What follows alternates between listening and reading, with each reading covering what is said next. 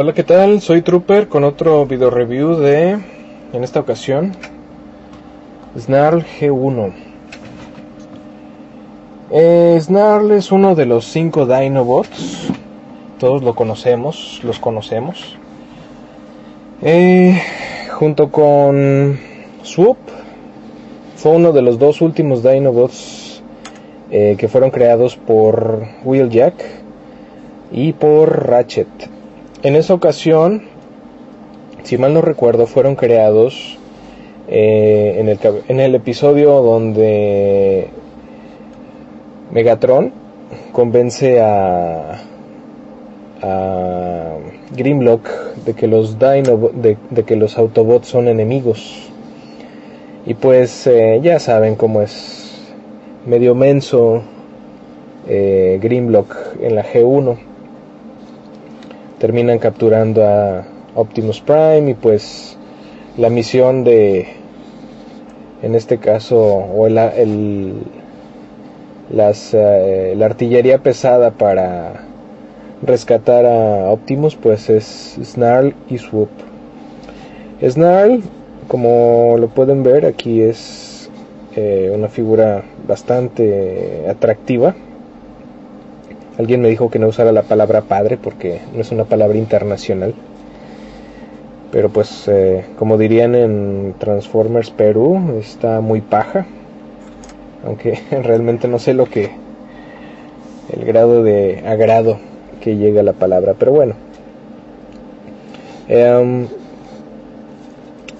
la figura para tener sus años está bastante cuidada. El cromo está en muy buen estado. Esta es una figura de plásticos IGA, no es bajo licencia de Takari Hasbro. Ah, voy a poner la luz para ver un poco de, detalle. Eh, uno de los detalles que me agradan junto con Greenblock es eh, el traslúcido de la cabeza.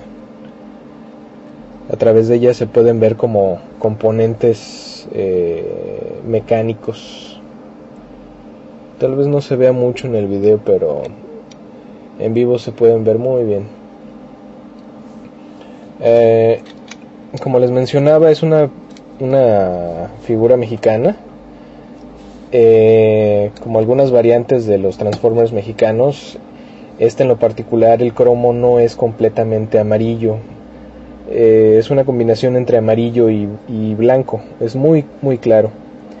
Y aún así es de muy buena calidad, tiene muy buen acabado esta figura, no le, no le pide nada a nadie yo creo. Tiene sus detallitos de desgaste en las puntas, por ejemplo, pero nada que afecte a, a lo atractivo que es la figura. Vamos a proceder con la transformación mientras voy hablando algo de este personaje. Eh, este, este Dinobot es un estegosaurio. No sé mucho de eso y no indagué demasiado. Así que no voy a, a, ahondar mucho en ello. La transformación es sencilla. Algo que me gusta de las articulaciones es esto.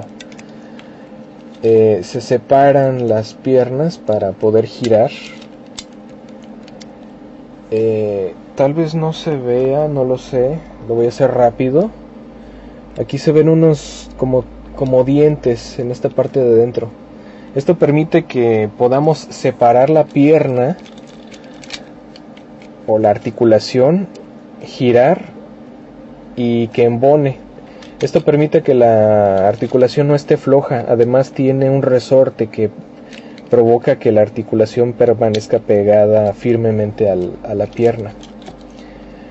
Eh, el personaje adquiere su máximo poder eh, a través de estos paneles que van sobre el lomo, a través de los cuales eh, absorbe energía solar.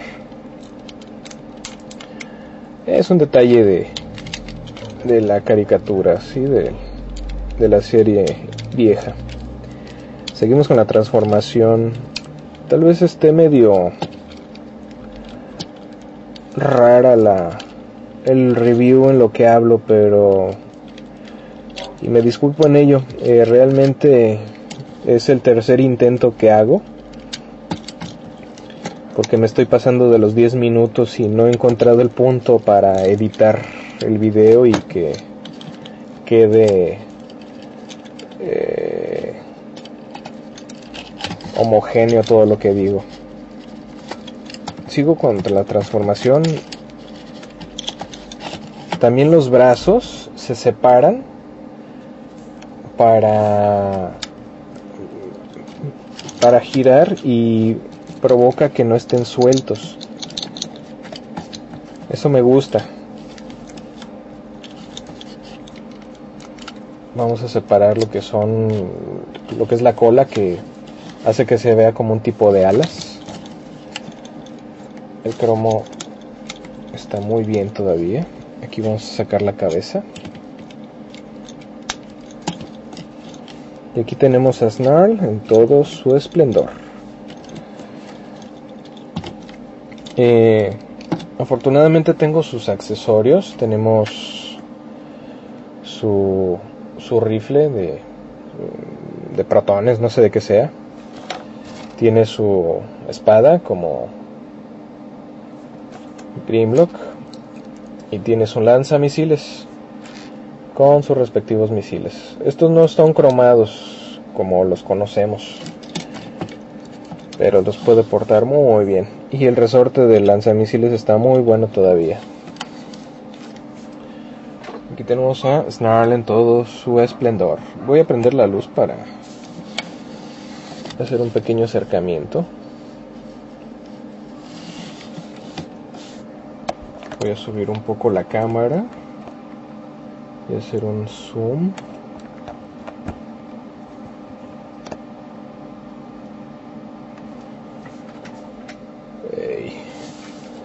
esas caras que aparecen en los dibujos del Dreamwave. Aquí tienen a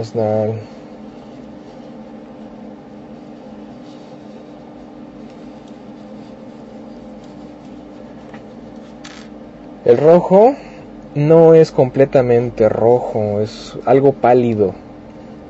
Y es una particularidad de los de los Transformers mexicanos. Los colores no siempre fueron fieles a las versiones americanas ni japonesas. Esta figura pues conserva todos sus, todas sus calcas, están en muy buen estado. Algo que también quiero hacer notar es el compartimento que tiene aquí en el, en el pecho. Al igual que Grimlock, lo tiene en el, en el lomo. No sé, yo creo que es para meter a uno de los Micromasters aquí adentro, ¿no? Y si no, pues metemos unos cubos de Energon.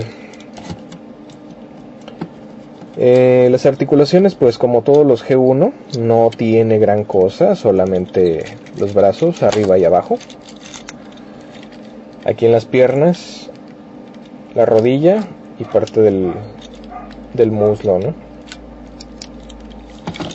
La cintura que no es propiamente una articulación, sino forma parte de la transformación al girar completamente para estar en modo robot, así que no cuenta como articulación. Em,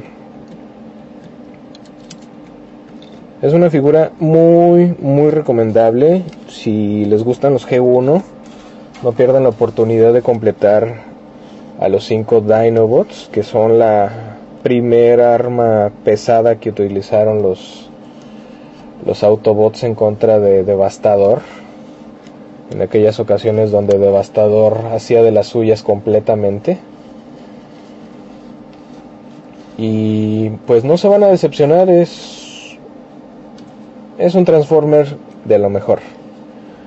Eh, nos vemos pronto, gracias por verme, quejas, sugerencias, escríbanme comentarios para mejorar todo esto.